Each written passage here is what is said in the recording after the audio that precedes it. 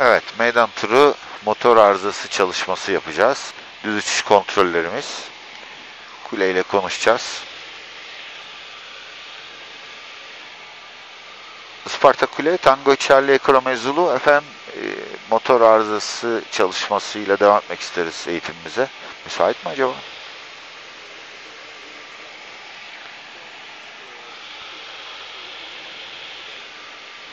Tamamıyla mutabık efendim. E, pist üzerindeki trafikte göz var. Charlie Ekrome Zulu.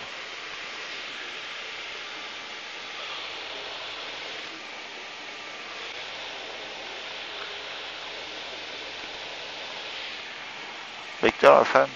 Başlayışta ikaz edebilirim.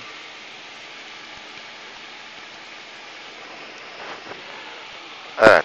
E, pistin en uzak noktası tabii ki rüzgar altının sonu. Mümkün olduğu kadar uzatıyoruz. Rüzgar altının sonundan bakalım yetişebilecek miyiz? Buradaki kritik nokta arıza olduğunu hissettiğimiz anda pistin en yakın yeri neresi? Pist başı. Ha şu anda problem olsa pistin en yakın yeri piste dik uçmak. Piste en yakın yerine döneceğiz. 73 knot tutacağız bu uçak gereği. Diğer uçaklarda 68 var, 73 var. Farklı hızlar var. Bu uçağımız 73 knotluk bir hız e, uçak. Tabi o kadar hassas olabilir miyiz bilmiyorum. E, irtifamız var. Dönüşte 73'ü tutarken pisti karşılamam gerekecek. Bu benim için önemli bir kriter. Evet. Kumandalar bende. Arıza yaptığını varsayalım. Evet. Efendim çalışmaya başladım. Son yaklaşmayı ikaz edeceğim. Tango Charlie Kırmızılı.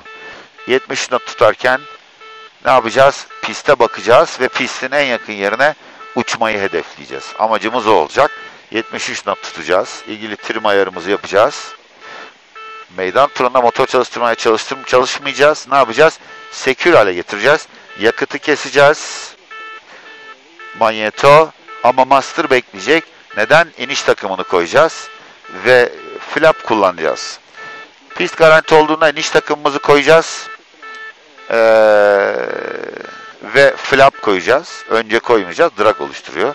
Eğer yüksek kalırsak da full flap olacak. Şu anda yetişeceğiz gibi görünüyor. Ben senaryo cevabı biraz yüksek bırakıyorum.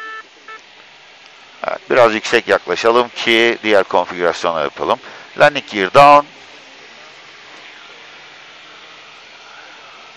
Son yaklaşma efendim ekran hazırlı. Evet aydın. Pist garanti. Gear down. On flap. 05 pisti Taçengo serbest tangaçar ekran hazırlı. Yüksek kaldık. Full flap. Ve hızımızı düşürüyoruz 70'e. Uçağımızı Secura ile getirmiştik.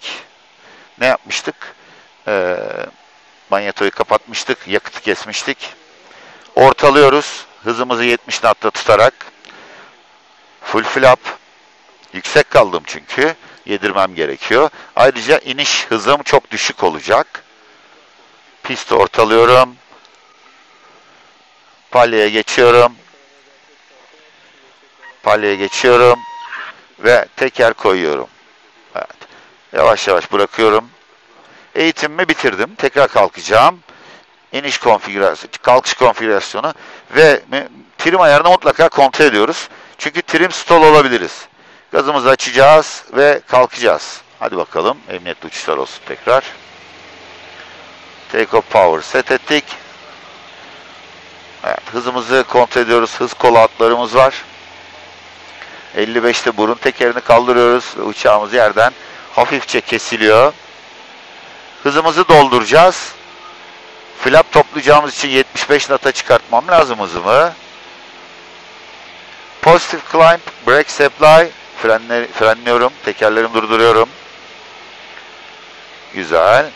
Pist, iniş ihtimalim yok oldu. Landing gear up. Güzel. 75 knot. Tırmanıyorum 75-80 arası. Pist artı 300. Taxi light off. Kapattım taxi light'ı. Pist artı 400. Geliyor. Flaps up. Güzel. Pist artı 500'de yani 3300 feet Isparta için Maksimum continuous power'ı set etmem lazım. Manifold basıncını düşürüyorum. 24'e 2500 RPM'in altına 2450 RPM'e çektim ve meydan turuna dönüşümü gerçekleştiriyorum.